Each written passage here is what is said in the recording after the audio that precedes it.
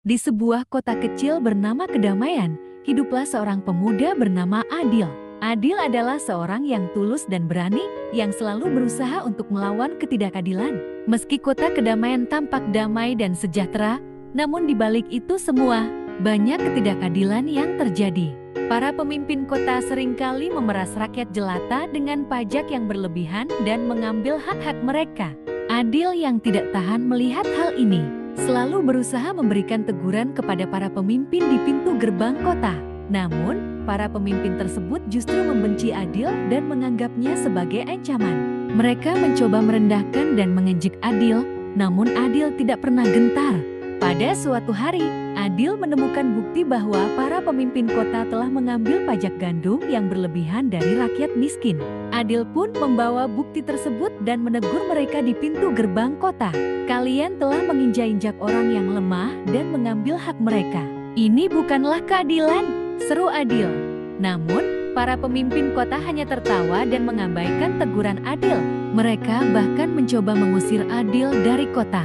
Namun, Adil tetap berdiri teguh dan berjanji bahwa dia akan terus berjuang untuk keadilan. Kisah Adil ini mengingatkan kita pada pesan dalam kitab Amos 5 ayat 7 sampai 13, di mana Tuhan menegur mereka yang memutarbalikkan keadilan dan memperkosa hak orang. Seperti Adil, kita semua harus berani melawan ketidakadilan dan berjuang untuk kebenaran. Ingatlah, meski jalan keadilan mungkin berat dan penuh tantangan, namun Tuhan selalu ada bagi mereka yang berjuang untuk kebenaran.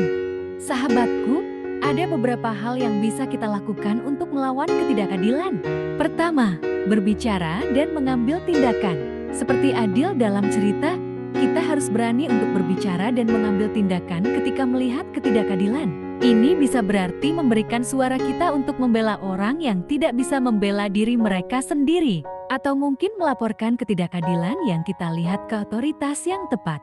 Kedua, pendidikan dan kesadaran. Mengetahui apa yang benar dan apa yang salah adalah langkah pertama untuk melawan ketidakadilan. Kita bisa membaca, belajar, dan mendidik diri kita sendiri tentang isu-isu sosial dan politik yang ada di sekitar kita. Ketiga, dukungan dan solidaritas.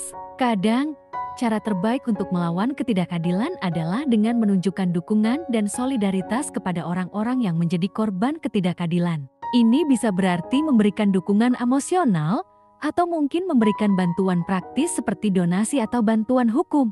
Keempat, berdoa dan meminta bimbingan Tuhan. Dalam konteks agama, berdoa dan meminta bimbingan Tuhan juga bisa menjadi cara untuk melawan ketidakadilan. Kita bisa meminta kebijaksanaan, keberanian, dan kekuatan untuk berdiri melawan ketidakadilan. Ingat, setiap langkah kecil yang kita ambil untuk melawan ketidakadilan bisa membuat perbedaan yang besar. Jangan pernah merasa bahwa usaha kita tidak berarti, karena setiap perubahan dimulai dari tindakan individu. Dari kitab Amos 5 ayat 7-13, kita bisa belajar beberapa pelajaran penting, yaitu Pertama, pentingnya keadilan. Ayat-ayat ini menekankan betapa pentingnya keadilan dalam masyarakat. Tuhan mengutuk mereka yang memutarbalikkan keadilan menjadi kepahitan dan meninggalkan kebenaran di bumi. Ini adalah peringatan keras bagi kita untuk selalu berusaha menjunjung tinggi keadilan dan kebenaran. Kedua, akibat dari ketidakadilan. Ayat-ayat ini juga menunjukkan akibat buruk dari ketidakadilan. Mereka yang melakukan ketidakadilan mungkin merasa aman untuk sementara waktu, namun pada akhirnya, mereka akan menghadapi hukuman dari Tuhan. Ketiga, panggilan untuk bertindak. Amos 5 ayat 7-13 bukan hanya peringatan, tapi juga panggilan untuk bertindak. Kita dipanggil untuk tidak hanya menghindari ketidakadilan, tapi juga untuk berjuang melawannya.